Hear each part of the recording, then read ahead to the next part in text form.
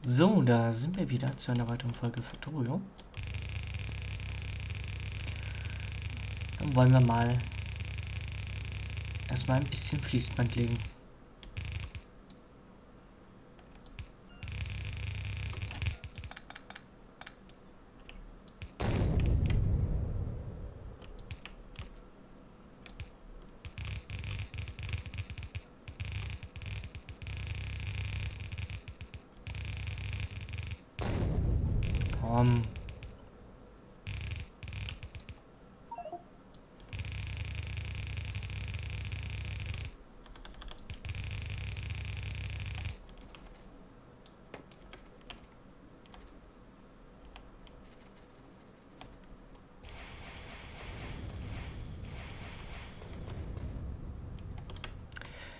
Ja, ich glaube, das ist die schnellste Variante, den Wald loszuwerden.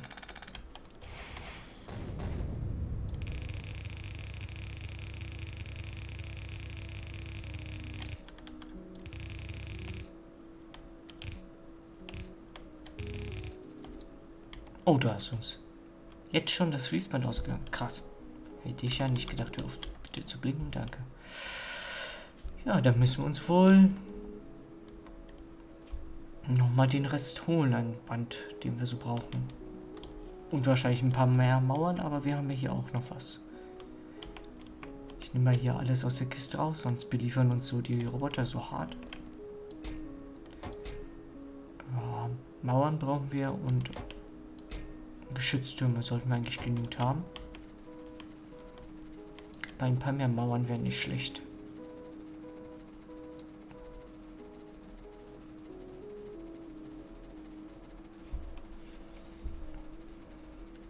Tja, und wie wir das mit den... Also wir brauchen definitiv einen Versorgungszug nach da oben. Für alles, was nicht Munition ist. Das steht fest.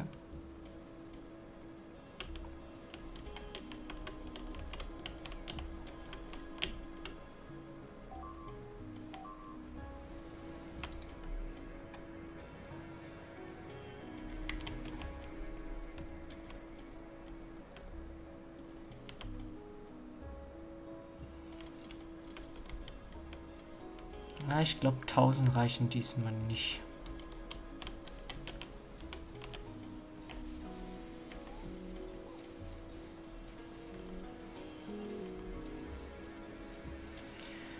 So nimmt man den ganzen Quatsch hier mit.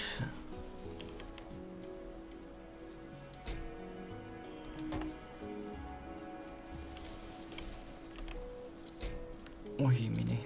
Nein, doch nicht Wasserpumpen. Ja, die.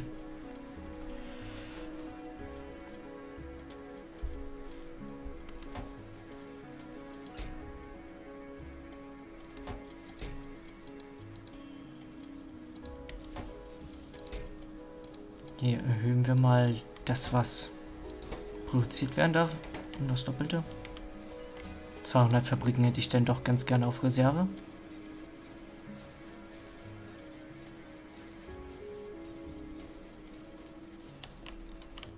Und ich glaube, auf die Bauroboter kann ich auch mal eine passive Anbieterkiste setzen.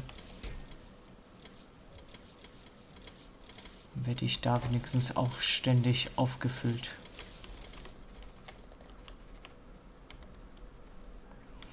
Ja, aber wie gesagt, der Anzug ist ein bisschen klein, finde ich. Um die Mauer da oben besser herzustellen, könnten wir uns auch mal schnell einen größeren machen.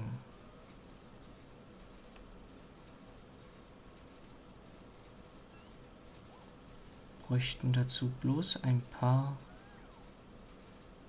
in Klammern paar,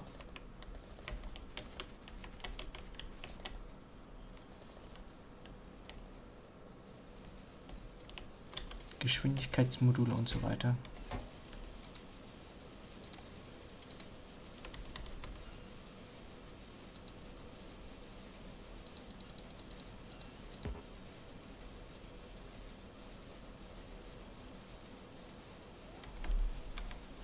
Die können wir ja mal so langsam schon mal herstellen. 30 Geschwindigkeitsmodule gehen ja relativ schnell, vor allem wenn man ein bisschen Vorstufe hat.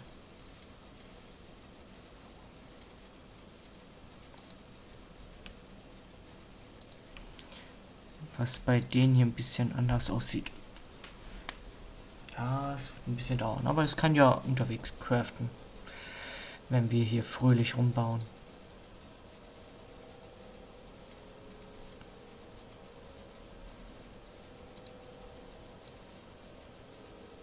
Greifarme könnten wir aber noch einen ganzen Haufen gebrauchen.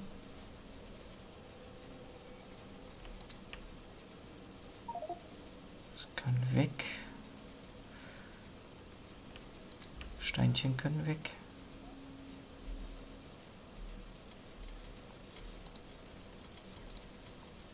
Das kann weg, das kann weg.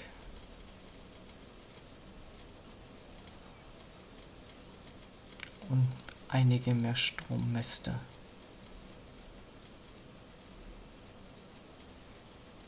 Und den Rest äh, schmeißen wir mit Mauern voll, oder? Mauern haben wir eigentlich erstmal genug.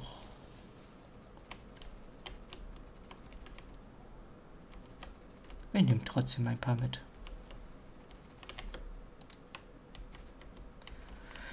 Vierhundert weitere. So, dann wollen wir mal.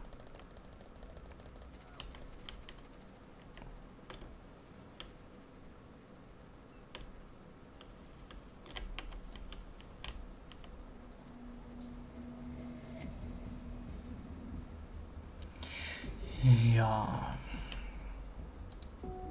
Zwischenzeit können wir auch wieder mehr hiervon herstellen. Und wer brav beliefert.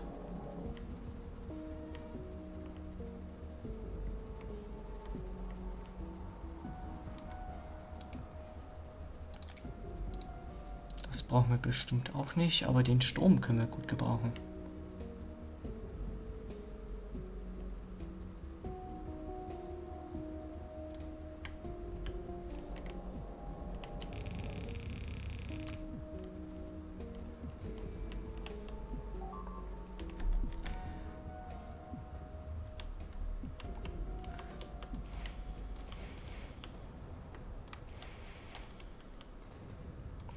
Geh weg.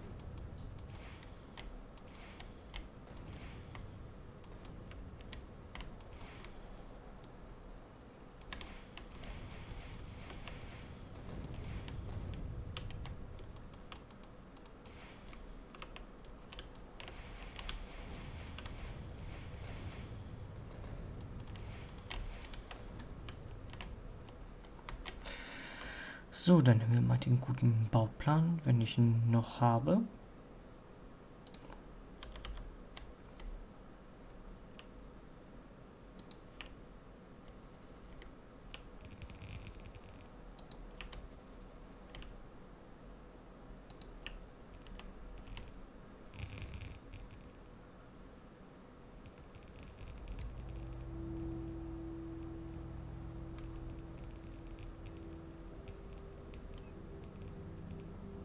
Tja, und so einige mehr an Robo Rubis würden eigentlich auch ganz gut tun. Das würde dann deutlich schneller gehen.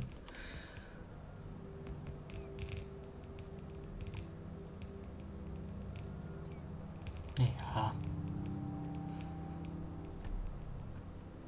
Für den nächsten Teilabschnitt werden wir auf alle Fälle schon den besseren Anzug haben. Denke ich jedenfalls.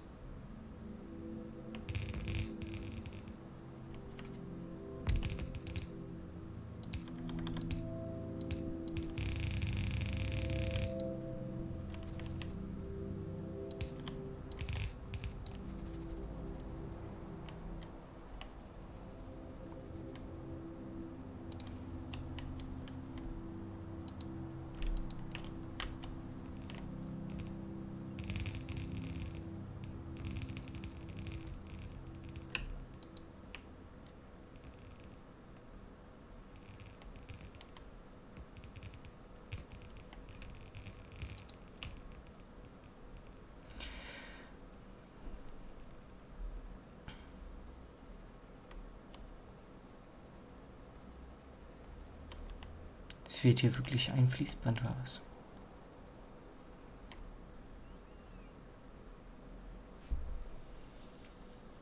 Kann sich ruhig schon mal verteilen. Die gute Munition. Wie sieht es eigentlich bei uns aus? Haben wir noch genügend Reserve? Nö. Könnte mehr sein.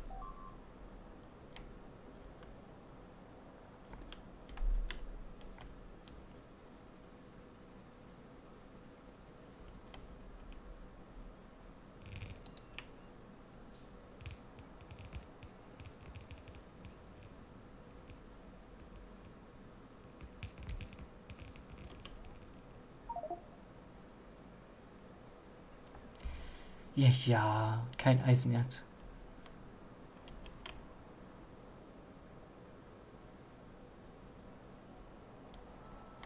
Haben wir schon keine Mauern mehr oder woran liegt das gerade? Ach, wir haben keine Mauern mehr. Okay.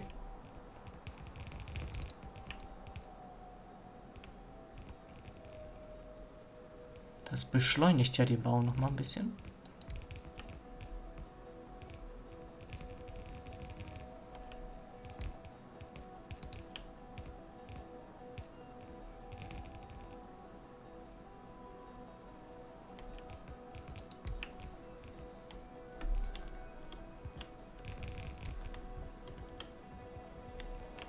Noch einmal nach oben und dann gibt es eine Kurve.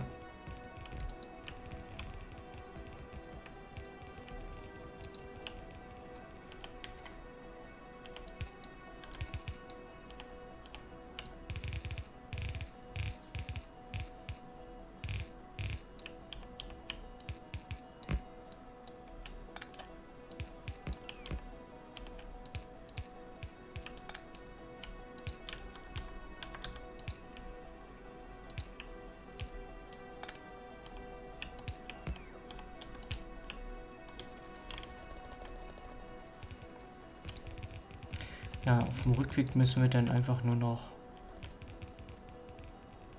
die Mauern setzen. Auf, den, auf der zweiten Runde sozusagen. Und anscheinend Geschützturm.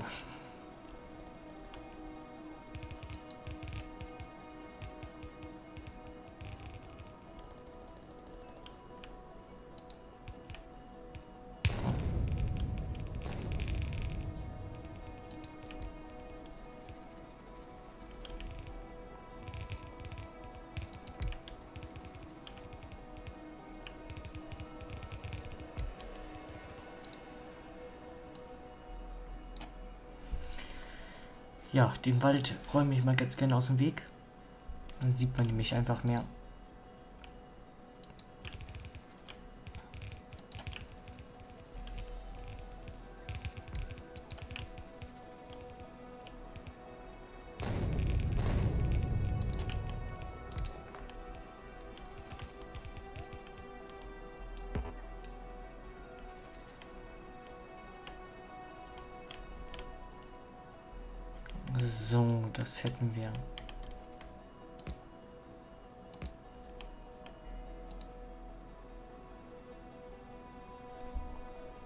Wie zum ersten Mal ein Gigawatt, wo ich sehe. Natürlich nur, weil sich alle Robo-Hangare gleichzeitig aufladen. Und schon wieder ein Zug ohne Sprit.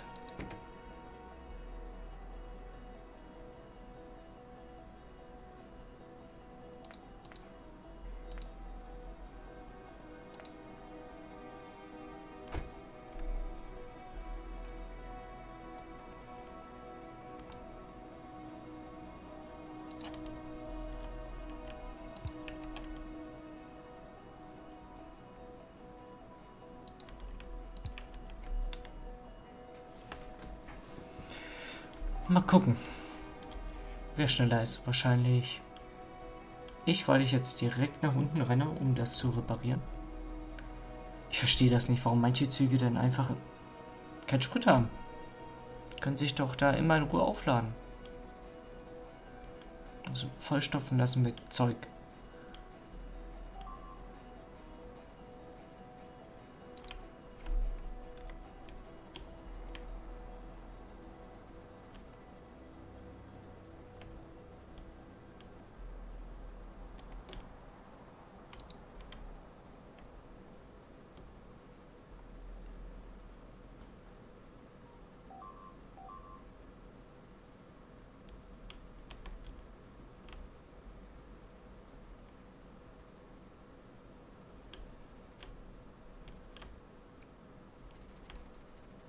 Und überall ist welche vorhanden. Und ich denke nicht, dass sie so voll sind und dann irgendwo hier reinfahren und dann, ach Gott, wir haben ja keinen Sprit.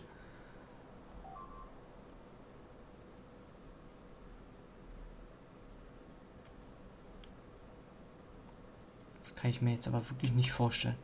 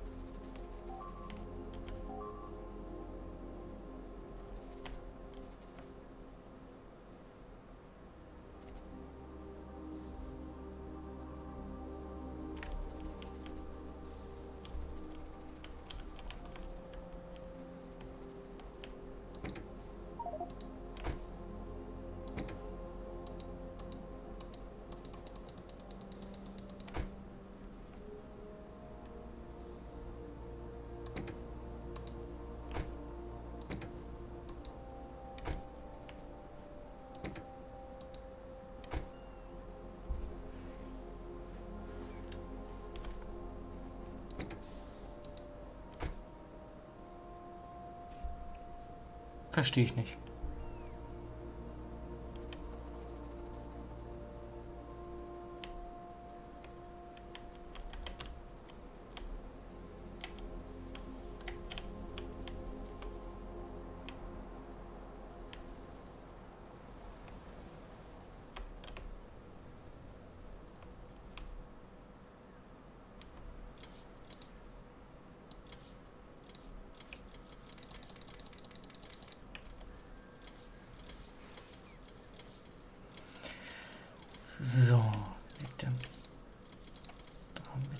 Damit.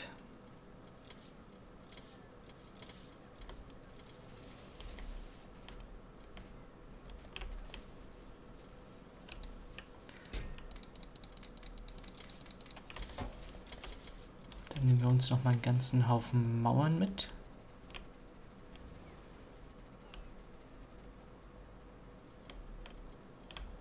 Mehr ist diese 400er.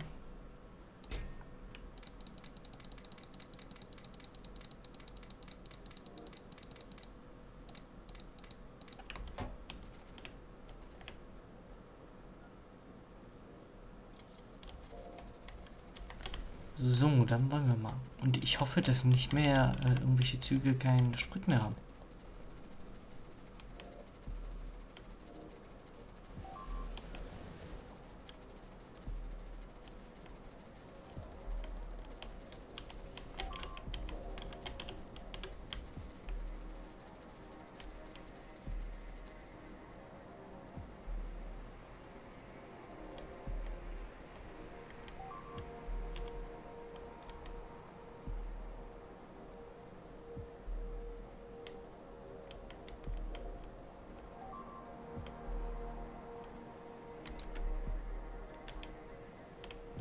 Warum wird der Zeug zerstört?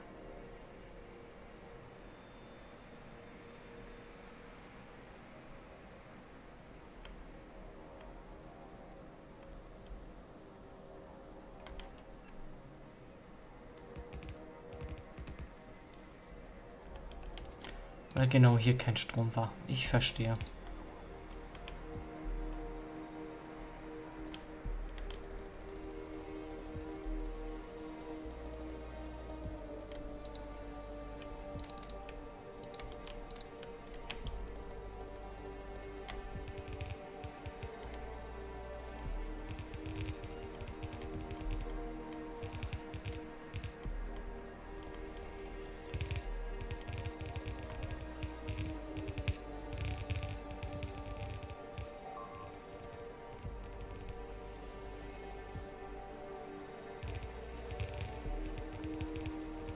Ja, und wie ihr seht, dauert dieses Handcrafting von dem Zeug da echt lang.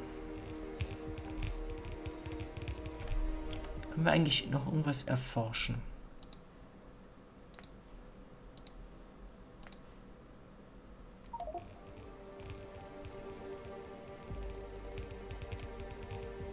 Forschen wir mal noch bessere Fließbänder und den ganzen Krams.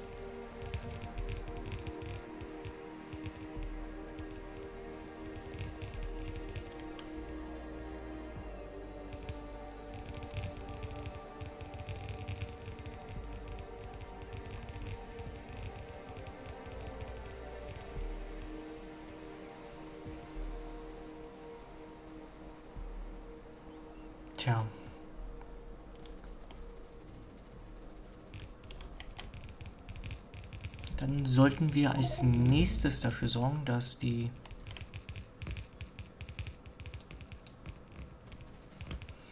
ja, Satelliten automatisch hergestellt werden.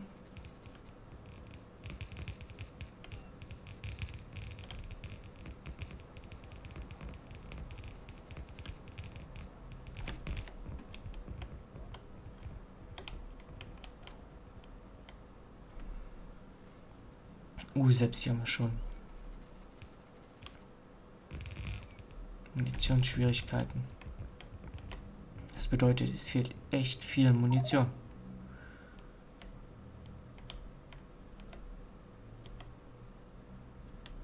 Das ist natürlich schlecht.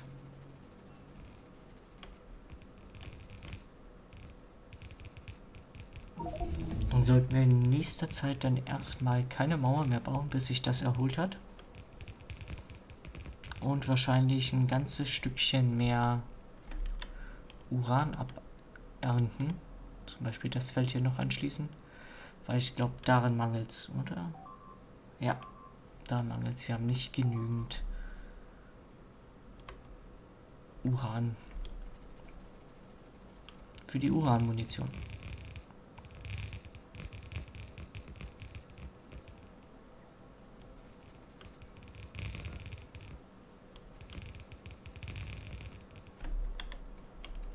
Aber wir haben ein gutes Stückchen dazu gewonnen. An Territorium. Ja. 75 Millionen Kupfer. Das wird uns ein bisschen versorgen können. Genauso wie die 13 Millionen an Eisenerz. Plan ist es natürlich hier die Linie hochzuführen Kreisel nach hier, noch ein Kreisel und dann nach oben und das dann hier alles anzuschließen. Auch die Kohle, auch wenn wir sie erstmal nicht brauchen. Ja, und genauso wie dieses Eisennetz wird dann auch über dem Kreisel hier angeschlossen, wenn wir nachher nur eine einfache Linie hier rüberziehen. Das sollte dann passen. Ja, und das Uran, das werden wir gleich in der nächsten Folge anschließen. Ein paar Roboports haben wir zum Glück noch. Und ein paar Erzförderer werden sich auch noch in der Tasche. Tja. Und dann sorgen wir mal dafür, dass wir mehr Uranmunition herstellen. Weil in nächster Zeit werden wir wohl noch so einiges brauchen. Also dann sage ich dann Tschüss, bis zum nächsten Mal in einer weiteren Folge Faktorium. Also bis dann. Ciao.